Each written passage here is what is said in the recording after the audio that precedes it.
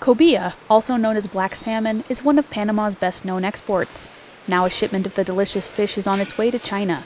Panamanian company Open Blue sent two tons of cobia to China on Tuesday, the first ever exportation of the product to the country.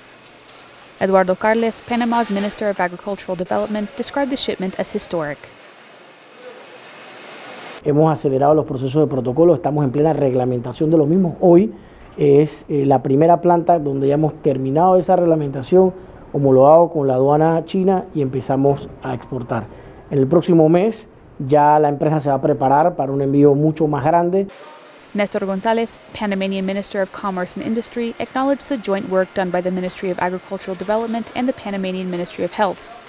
The institutions were able to initiate the process of protocols and qualification upgrades for Panamanian plants.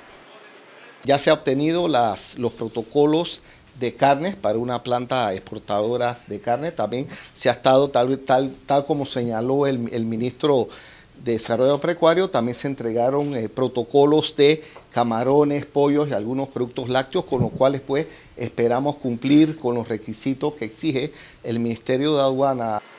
The Chinese ambassador to Panama, Wei Qiang, stressed the importance of joint efforts to open new possibilities for Panamanian products in his country.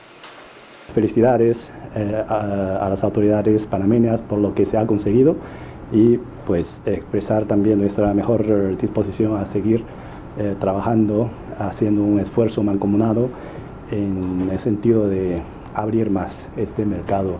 The company Open Blue also exports to the United States and Canada, as well as to several countries in the European Union.